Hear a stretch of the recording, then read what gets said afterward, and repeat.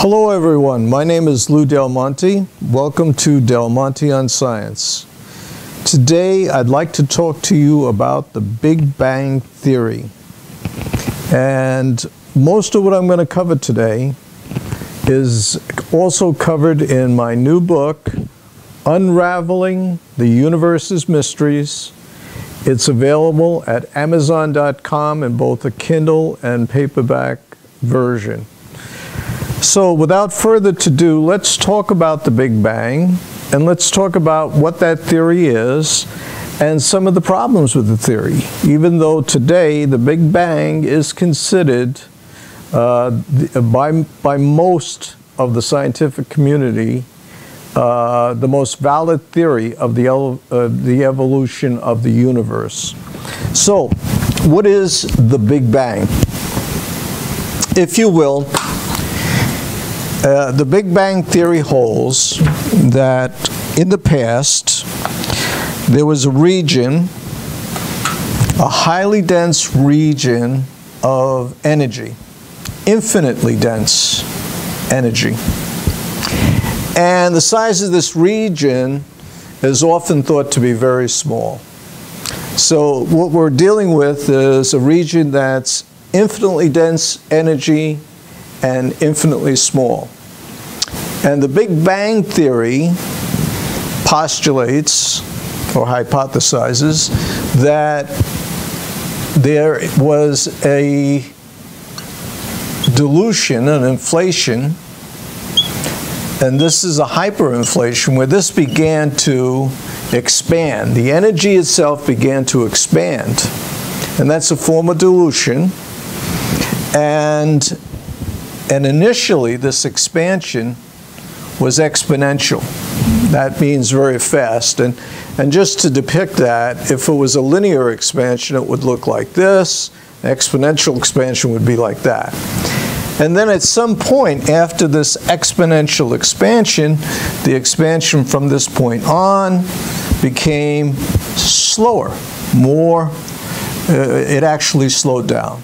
It was no longer exponential or inflationary, as they say but it began to slow down to a more normal rate. Now, where did all this thinking come from? Why, why is this the case? Uh, and, and essentially, before I go there, let me just say that as the energy began to, to expand out, eventually uh, it formed all the, uh, the, the observable universe. And so the Big Bang gave birth to the universe, and it explains the evolution of the universe. Now, before this, and up until about 1924, scientists believed that the universe was eternal and static, which meant it always was and always will be. And on top of that, because telescopes weren't very good, they believed that the entire universe consisted of only the Milky Way galaxy. That was the whole universe. Okay?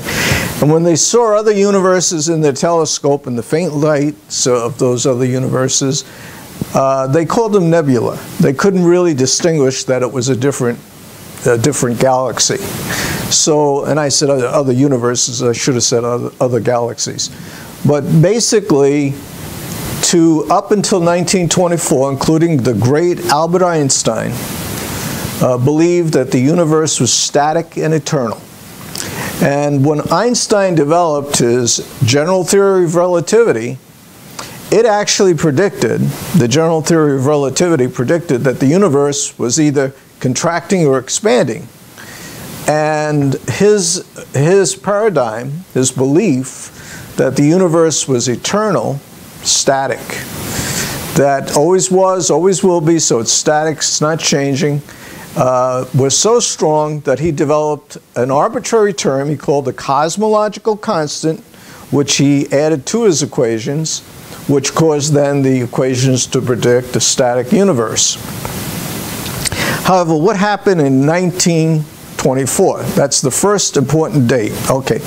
Edwin Hubble came along And he found, now we're talking 1924, he found existence of another galaxy, the Andromeda Galaxy.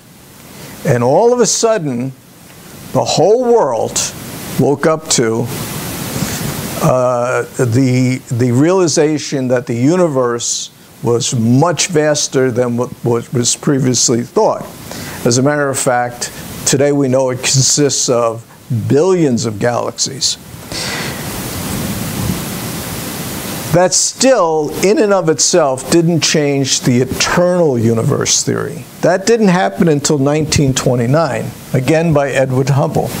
And how was Hubble able to do this? Well, he was using a new telescope that had just been developed called the Hooker telescope.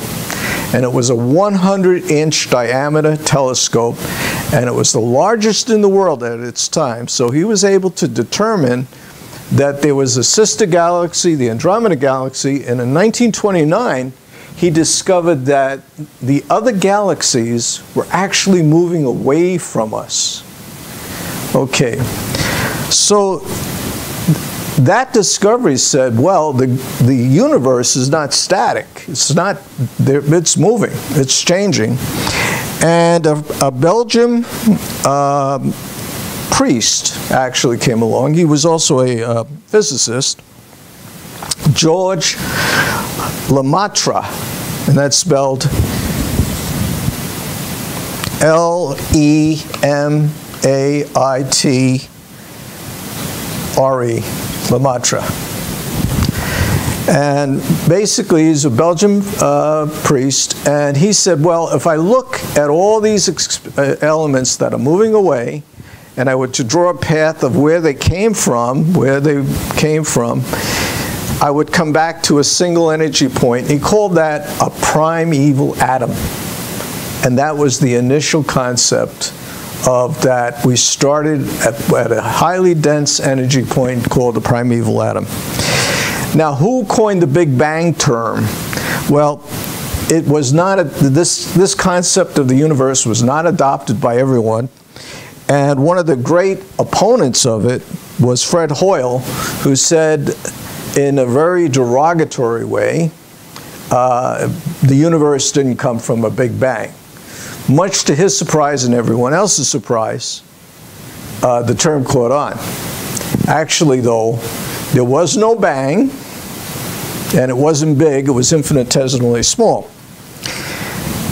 Now, there's a lot of evidence that supports the Big Bang as a, a, legitimate theory of science and evolution of the universe. It's not the only one. But there are several problems.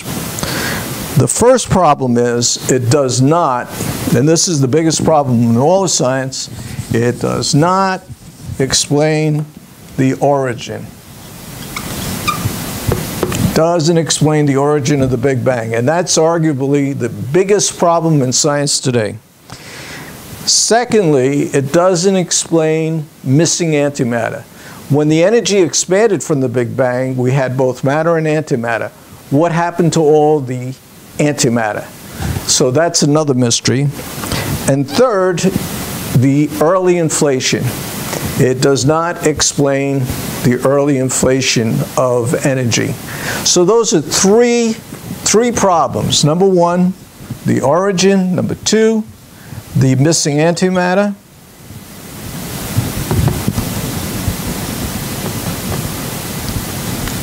And number three, the inflation. And that will be covering these items, starting with the origin, in our very next uh, posting. And that's going to deal with a phenomena that we have seen in the laboratory uh, dealing with virtual particles. Thank you.